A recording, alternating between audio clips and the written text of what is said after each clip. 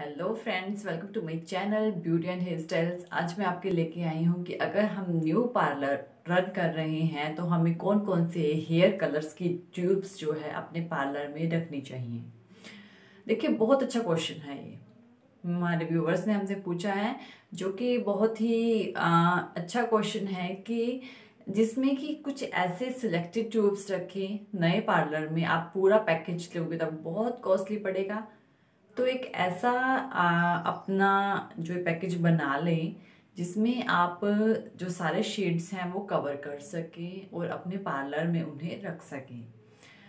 तो ज़्यादातर हाइलाइट्स जब करते हैं हम तो ज़्यादातर जो यूज़ होता है कलर हाइलाइट्स के लिए सिर्फ़ और सिर्फ़ हाइलाइट्स के लिए that is seven point three और eight point three maximum time जो है, वो सेवन पॉइंट थ्री का यूज़ होता है। सेवन क्या होता है?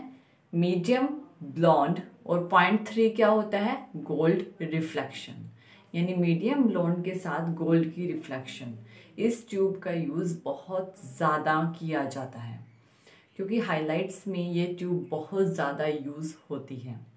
ऐसे ही 8.3 मेरे अकॉर्डिंग आप 7.3 रखिए, काफ़ी ठीक है। और अगर आप 8.3 भी रखना चाहते हैं तो वो भी रख लीजिए। 8.3 थोड़ा और लाइट तक चली जाती है।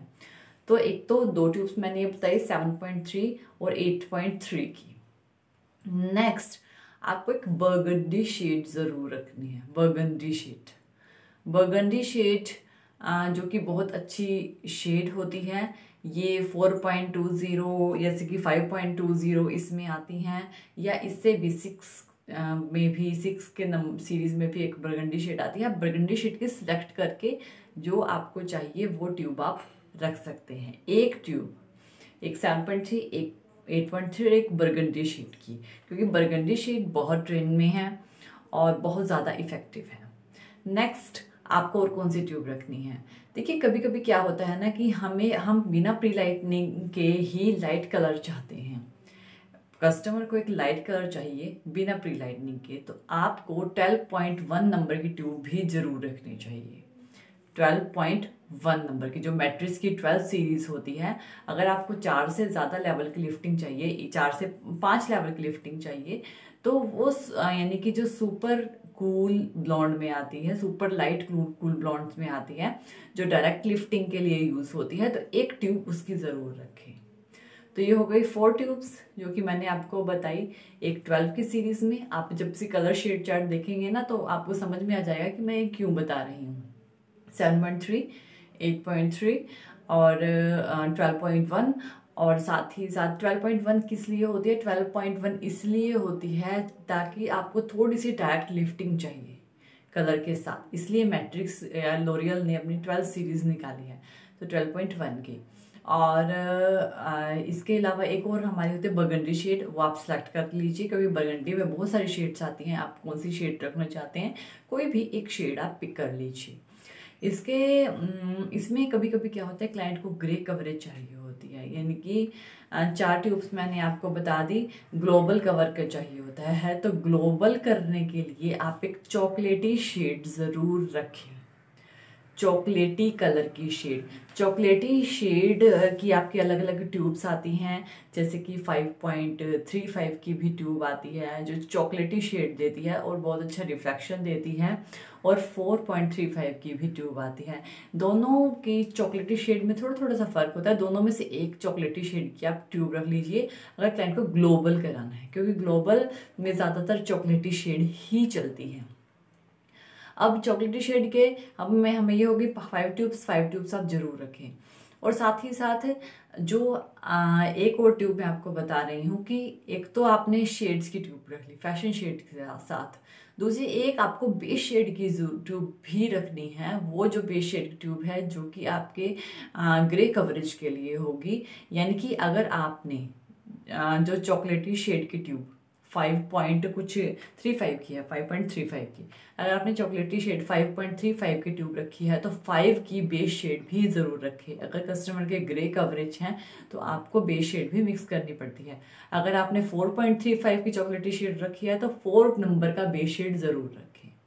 ये ट्यूब्स आपको अपने न्यू पार्लर रन करने में ज़रूरी, ज़रूरत पड़ती है और ज़रूरत होगी।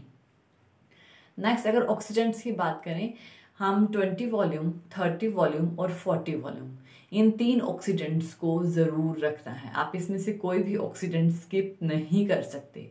तो तीनों ऑक्सीडेंट्स रखें 20, 30 एंड 40 वॉल्यूम। और इनके आ, जो ऑक्सीडेंट्स के अलावा हमारे ब्लॉन्डर होते हैं एक ब्लॉन्डर का पैक ज़रूर रखें। ब्लॉन्डर कंप्लीट ब्लॉन्डर रखें, क्योंकि फ़ैशन शेड्स बहुत कम जो है लेते हैं। तो ये जो मैंने आपको ट्यूब्स बताई हैं ना, इन ट्यूब्स में आपका काम जो है वो कम्प्लीटली चल जाएगा, क्योंकि यही जो शेड्स हैं वो ज़्यादातर रिक्वायरमेंट होती हैं। तो मैंने कौन कौन सी बताई हैं? एक तो बताई है सेवन पॉइंट थ्री की, एक है एट पॉइंट थ्री की सेवन पॉइंट थ्री से थोड़ा सा लाइट ब्लॉन्ड की तरफ़ जाते हैं।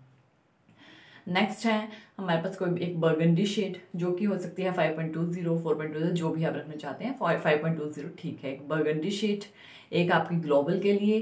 ग्लोबल के लिए मैंने आपको चॉकलेटी शेड बताई है, जो कि है फाइव पॉइंट थ्री फाइव की या फोर पॉइंट थ्री फाइव की। अगर आप फोर पॉइंट थ्री फाइव की रख रहे हैं तो उसके साथ उसका बेस शेड ज़रूर रखें फोर का। और अगर आप फाइव पॉइंट थ्री फाइव की रख रहे हैं तो उसके साथ उसका बेस शेड जो है फाइव का, वो ज़रूर रखें। तो ये हाईलाइट्स के भी हो गया।